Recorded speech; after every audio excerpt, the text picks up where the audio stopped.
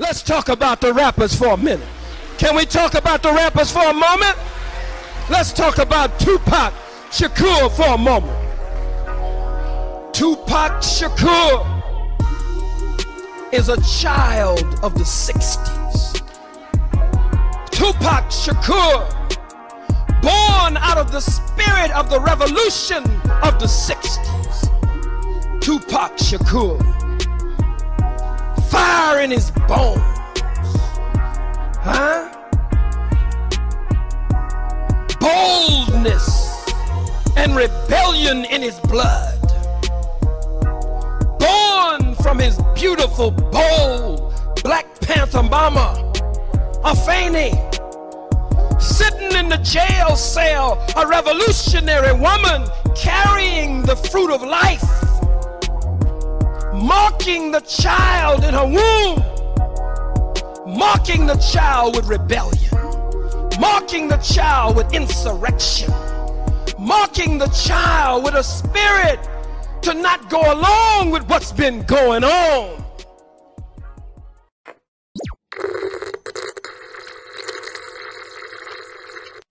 Beat me, young G, with a gift to give. You know we just signed with Death Row. That's gonna be cool too. Everybody out here got cases and a real brain and real thug lives to match these thug records. Ooh, shit, they came to me and said, "Do you want to work with the Row?" And I said, "Hell yeah." Now you show me that on the other side, and we could talk. I can't really ask for nothing more than that, really. In, in '93, Tupac, Thug Life, and Death Row. Now y'all buy my record and support a real nigga because I'm staying real.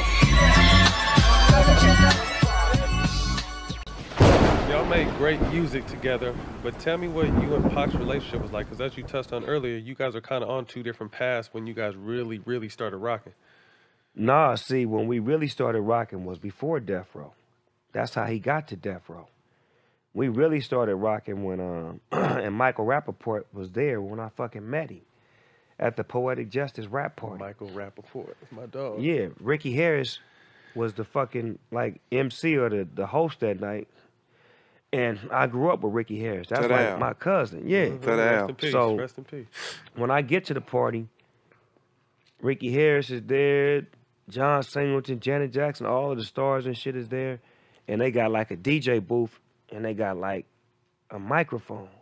So Ricky Harris grabbed the mic and he know I get out. So he like, yeah, I got my my cousin Snoop Rock in the house and whoop whoop whoop, and then Pac is right here. So then when Ricky finished saying what he's saying, nigga Pac grabbed the mic and started rapping. I'm like, nigga, that was my intro. so when he finished saying his little line, I grabbed the mic and I started rapping. Then he grabbed the mic and started. This is one mic, nigga. This is when nigga only had one mic. So nigga had to wait patiently and kindly and then grab it with aggression after a nigga finished. Nigga said. So then now we rapping and rapping. So we both go about like four, five times. Then mm. we stop. And then my nigga Laylaw from above the law was there. And he walked us outside and he was like, Snoop, did you meet my nigga Pac? I'm like, nah, what's up? Shook the nigga hand, nigga rolled a blunt. I'm like, nigga, what's that? He like, nigga, it's a blunt. The nigga rolled a blunt, licked that motherfucking, lit it, smoked that motherfucker. I'm like, let me get your number, come I'm holler at you. Got his number. Maybe like a month later, I finally called him. And I'm like, what's happening? What's up with you? He like, I'm at the house. I'm frying some shrimp. Nigga, come by. He was in Encino. the nigga had a house full of niggas. He was frying shrimp. Nigga had flour and shit in his hands. This is the first time I go fuck with him. And the nigga like, you ever see my movie? I'm like, nah, nigga, you was in a movie? He's like, yeah, nigga, I got a movie called Juice, nigga. I'm like, let me see it, cuz. And nigga gave me a big ass laser disc. That's when laser disc was out, nigga. This motherfucker was a pop. this big, nigga. Was square. He gave me that motherfucker. I took it to the house, and, I, and DOC had a laser disc player too. But that motherfucker in, nigga, watched Juice, and fell in love with that nigga. I was like, cuz, this nigga hard. me and all the homies started listening to this nigga music, getting all this shit. Me and them started hanging out, started fucking with him and fucking with him. Then I did my record. Then I did the Murder Was the Case soundtrack. And I wanted this song he had called uh, Tell Me Do You See Life So Hard on a nigga living like a G. I wanted that song bad. And he was like, I paid him 35000 I made Suge give him 35000 Suge was like, nigga, who is this nigga? We giving $35,000 to this motherfucker ain't shit. I said, man, pay the nigga, man.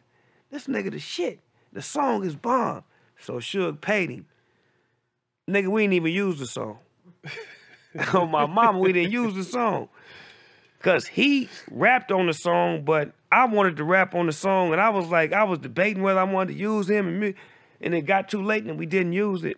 But long story short, when he got back out and got on Death Row, I had already paid for it, so I used the song and I did the lyrics over on the the movie that he was on before he died, The Wanted Dead or Alive. What was the name of that movie? Now tell me, do you see life so hard on the nigga when you living like a can I get paid? and we used it for that. But I had paid the nigga like four Right. years before that. And this one, Suge wasn't fucking with him. Suge was like, don't get that nigga all that money. I'm like, cuz he worth it, cuz. So he was my friend before Death Row, Uh-huh. right? So building a brotherhood with him. So when he was locked up, naturally I spoke to Suge and was like, we need to get cuz out and put him with us because he will make us better and he gonna push me and he's just the shit just because we need his spirit here so that was the first successful free agency acquisition that i acquired with Suge knight as like a general manager to bring cuz to the squad Only Gab can do it like this. Yo, YouTube, what up? It's your homie Gab, I'm in the building. And this is Makaveli Media.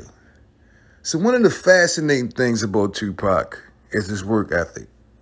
People always marvel at the fact Tupac put out about 500 songs. Well, he recorded at least 500 songs that we know about. Well, one of the things that I'm impressed with is how Tupac not only talked about, but had enough common sense to record some of the things that took place in his life, even on a day to day basis. I mean, he talked about when he was younger how he always kept a journal, or, you know, in Tupac interviews, he give you a complete rundown of what exactly what was going on at different times in his life. And it comes in handy in situations like this. Snoop Dogg did an interview not too long ago.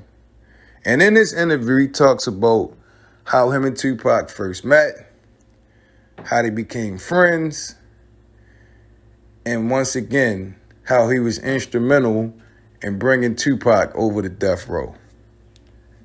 And all of which is probably true. But there's certain things that he talked about in this interview that I never heard him talk about before that we heard Tupac already address. Now, in this interview, he did with Matt Barnes and Captain Jack. Snoop Dogg said he was the reason Suge Knight gave Tupac 35 grand for a movie soundtrack before he was on Death Row Records. Now, we heard Tupac say this several times. He said, I used to always see shit. When they did the um, soundtrack for Murder Was the Case, yeah. it was when I was going through all those legal problems. that Suge knew he was going through some legal things, and Suge gave him damn near album budget for one song. And he was like, yo, give me a song, dog. And I was like, yeah, you can get whatever you want. You know, gave him a song. Dug into the fullest, got my strap, I'm a bullet on the first motherfucker that can outrun a bullet. that he didn't even use. Something like 200,000 or 150,000 for one song. And the song, they didn't even use it. Now the problem was, and what Snoop Dogg said, is that it's like Snoop is trying to downplay the situation. Snoop said it was 35,000 that he had to talk Suge into giving Tupac, when Tupac say it was a damn near a, album budget. Pac said it was like 200 grand, 150 grand. That's a big difference between, you know, 35,000 and 200 grand. Them numbers way off. And then, you know, to make matters worse, Snoop is saying that, you know, he talked Suge into fucking with Pac. Like basically, Suge wasn't rocking with Pac. I paid him thirty five thousand. I mean, Suge give him thirty five thousand. Suge was like, "Nigga, who is this nigga? We giving thirty five thousand dollars to this motherfucker ain't shit." I said, "Man, pay the nigga, man. This nigga the shit. The song is bomb." So Suge paid him. Nigga, we didn't even use the song. On my mama, we didn't use the song. But And if you listen to what Tupac said him, Suge was closely, like, "Don't get that nigga all Tupac had that money." already turned Suge Like, down because he said he wasn't ready to come So to death row at, at that point in time when they was trying to get him. Mhm. Right, So so- Suge did that for him and gave him damn near an album budget so he for one up, song. Naturally, I spoke to So Suge that means like, Suge been trying to sign to Tupac. He been trying to sign Pac the whole time. because he Whether Snoop do, whether. Snoop Dogg knew it or he not. gonna push me, and he's just the shit. Just because we need his spirit here. So that was the first successful free agency acquisition that I acquired with Suge Knight as like a general manager to bring Cuz to the squad. But if you listen to what Tupac said closely, Tupac had already turned Suge down because he said he wasn't ready to come to death row at, at that point in time when they was trying to get him. So Suge did that for him and gave him damn near an album budget for one song. So that means Suge been trying to sign Tupac. He been trying to sign Pac the whole time. Whether Snoop Dogg knew it or not. Yeah, asked me to come to death row, and I was like, I ain't ready. And instead of like taking it personal, he just did that for me, and I appreciated that. And let me give a shout out to my homeboy Brian Graham, man, because when Snoop Dogg be twisting these facts and, you know, telling these lies, it be driving yo crazy. so shout outs to my homie Brian. These is, this is what Snoop Dogg saying. He didn't want to give Pac the money. He said, should say, fuck that nigga. So it's always like, you know, look at me, I'm important to this situation. That's what I get from that. Snoop Dogg is making himself relevant in that situation alone. Now, you know, was Snoop Dogg the initial connect? Did he probably have a relationship with Tupac before Suge? Probably so. But the problem is that Tupac already spoke about this and he damn sure didn't mention Snoop Dogg.